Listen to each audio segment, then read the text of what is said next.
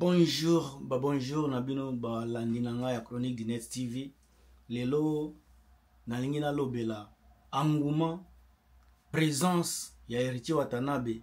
na niveau ya zone ya schengen après kokita na ye na belgique makelele engouement oyo ezalaki koentoure ye vraiment bayambaki ye digne comme star monene ya mboka na biso après tomonaki sorti na ye na belgique ti akota na france tomoni ye na gare du nord ndenge ezalaki comble bato ebele oyo bayaki koyamba eritio atanabe ba image yango moko ezoloba je ne pense pas que eza ba image triqué parce que tozali kolanda ye na bao batiaki live tolandaki elakisi ke vraiment héritier azongisi makambo oyo tozalaki komona baserie ya bawerason bajb ere bazoyamba bango na poto lelo tomoni héritier azongisi makambo wana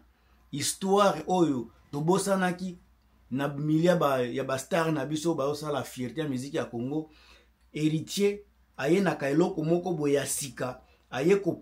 koimpose ko eloko oyo bastar ba na biso bafere bafali basalaka basalaka yango mpenza te mais héritier aye kobakisa eloko wana ya komema lisusu embouteillage engouement ambiance na kati ya communauté na biso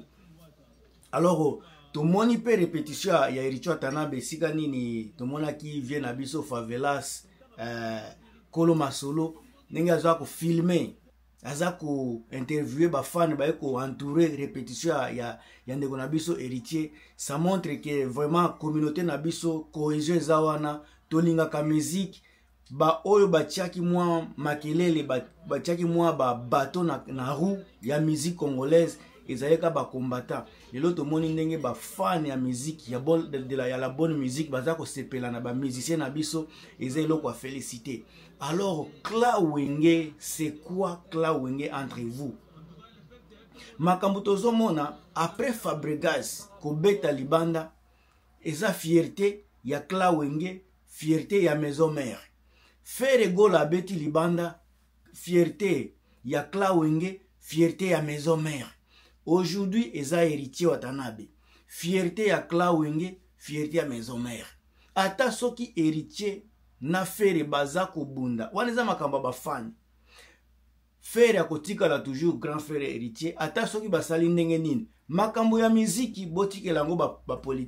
bato ya polemique. Bino baoyo boza na posa ya kokende kosoutenir artiste na bino, kosoutenir culture na biso ya Congo, kosoutenir la bonne musique, bokende kosomba babiye ndenge tozomona ezokende na sold out. Nalandaki ndeko na biso uh, ya ya chronique ya, ya nani actu du net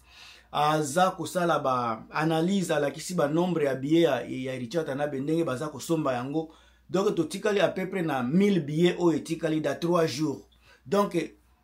na minute oyo tokoloba héritier déjà asi ateki plus de 5000 billet tolinga tolinga te héritier akobeta Héritier tomoni na repetition na ye ndenge aza ko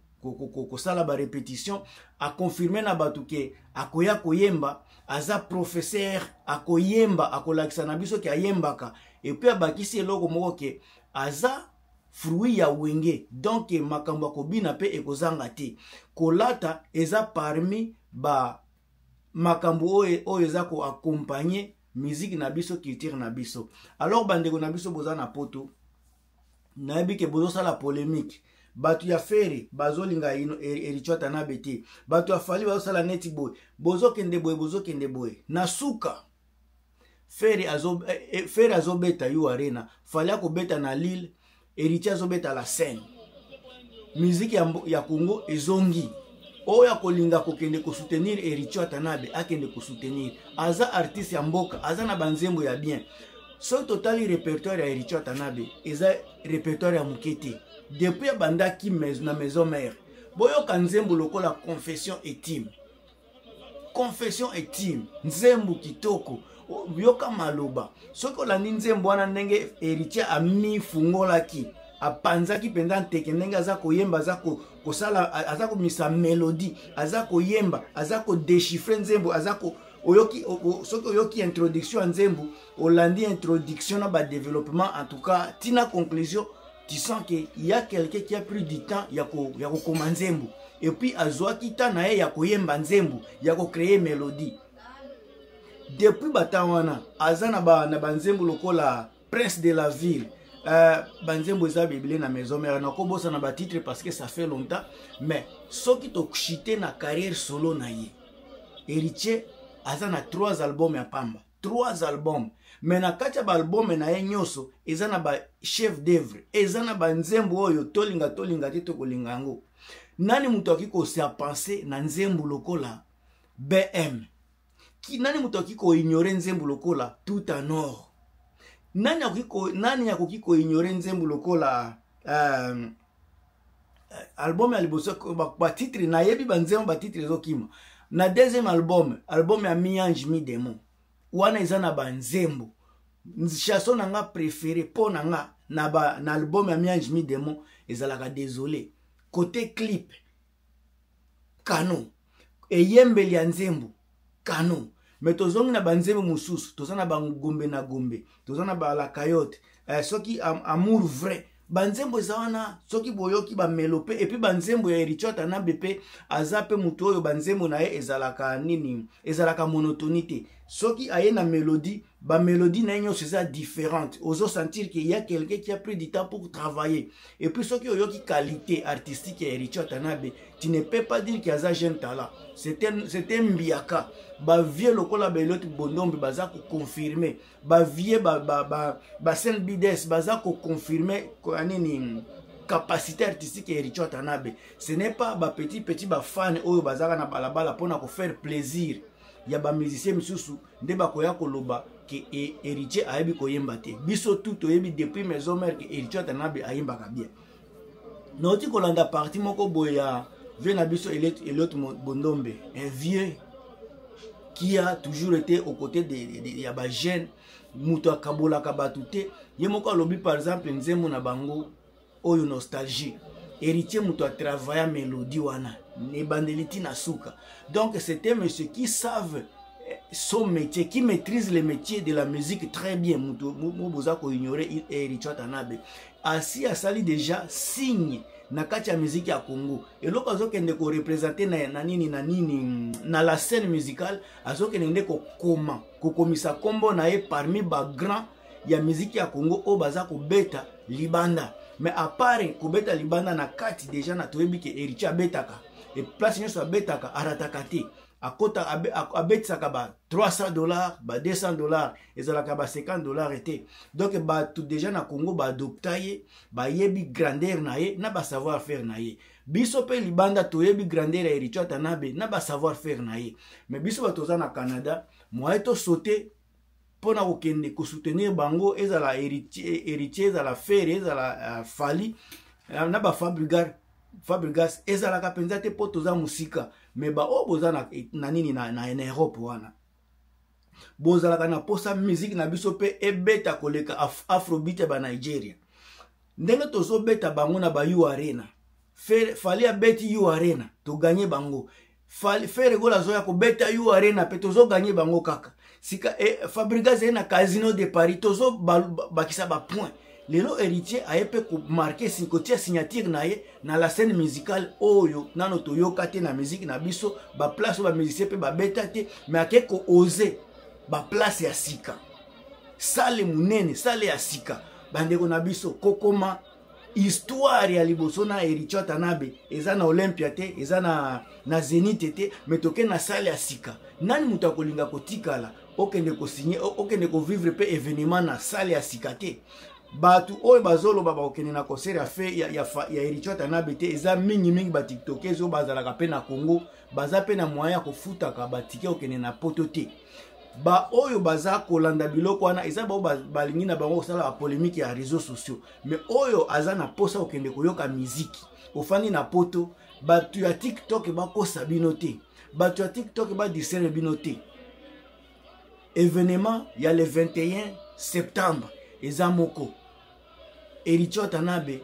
aza korepresente rumba congolaise si la chaîne si l'échiquier international alors eza biso ba congolais nde toza na droit kokende kosoutenir ya kosupporte musique na biso soki tosoutenir musique na biso te motu oyo akoya kotyela biso loboko aza te motu oyo akotya biso camp akozala te donk biso nde toza na droit na obligation ya kosoutenir motu lokola ericho atanabe epuis ba invité de surprise ndenge naza kotalela makambo ndenge naza komonela makambo bainvité ya surprise baza na riske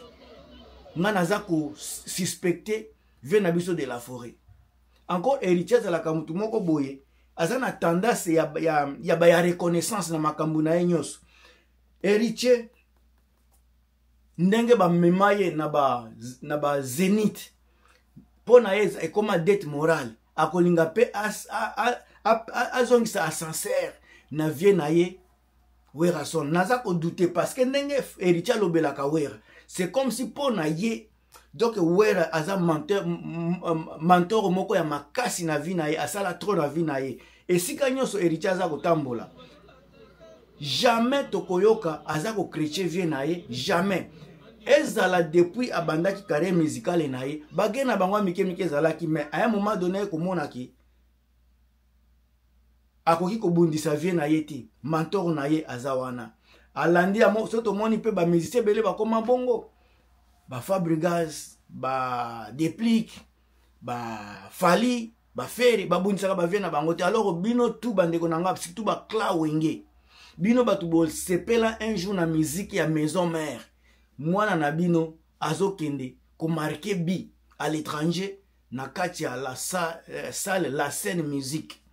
soki la scène musicale bandeko na nga ekomi ntango ya kolakisa bolingo ekomi ntango ya kosimba na maboko tokende kotia ndeko na biso poids parceke kote koyemba akodecevoir na ye biso te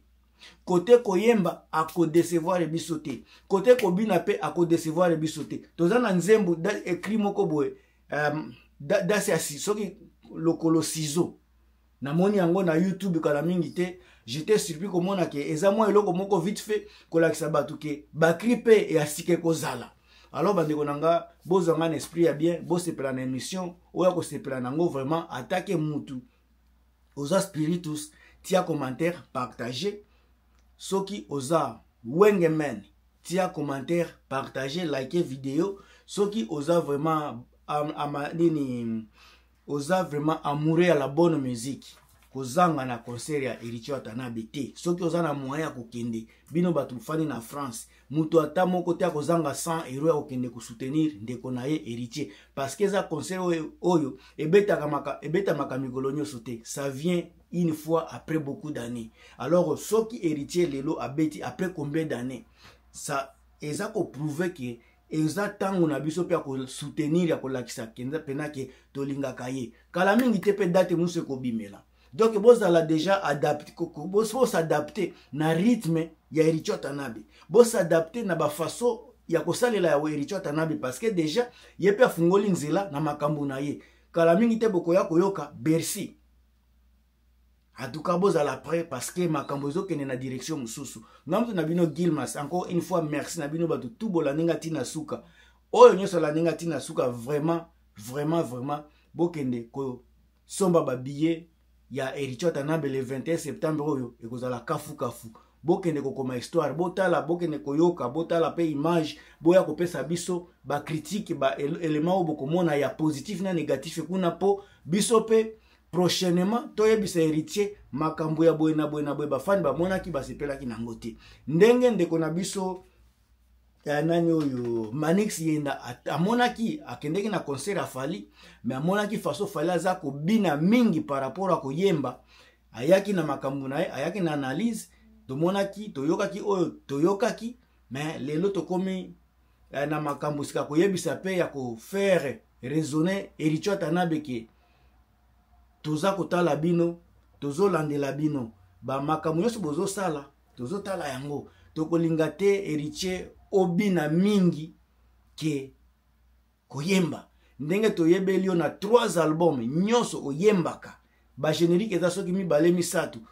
mingi olakisi biso deja ke oyembaka nde trop alors héritier atanabe soki okie na la scène musicale yemba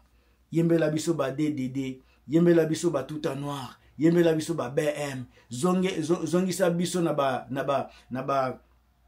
amour vrai ba, ba confession etime ti lelo toza na ba nzembu lokola novelas dl ba debora masi soki debo, dl debora soki nani kim, kumbe kiminga toza na banzembo lokola ba de la république héritier ekosala biso bien toza fiere na yo nanu komona ke obrise obrise balien ya ba ya ba main noire oyo ezalaki mpo na bavisa olakisi ke oza mobali o, o, bato bakritikaki yo mingi bato batyelaki yo mpena motema teke okobeta di ya bavisa tozomona makambo me lelo toza biso tu surpris ke obimi avec succès avec victoire alors la scène musicale ekozala mpe victoire mpo na yo bamain noire oyo elingaki ezala wana deja osi obrise yango na nzela ya bavisa alors prouve na biso ke oza moyembi ya solo outi na ekole ya maison mare place bayembaka bayembaka banzembo lokola eh,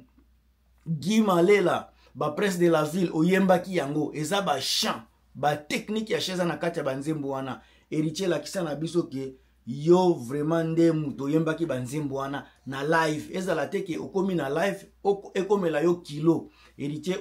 ocompte sur toi biso bagénération ya maison mare biso bato tokoli na miziki ya maison mare toyebi yo na ndenge okoti maison mare sala biso plaisir en tout cas mingi ya koloba eza te tokutana na prochaine émission kaka tozosala promotion ya bamusicien na biso ya baartiste na biso ya mboka soki nalobi mabe wana etali bino me ngai naza, naza dans le vrai baye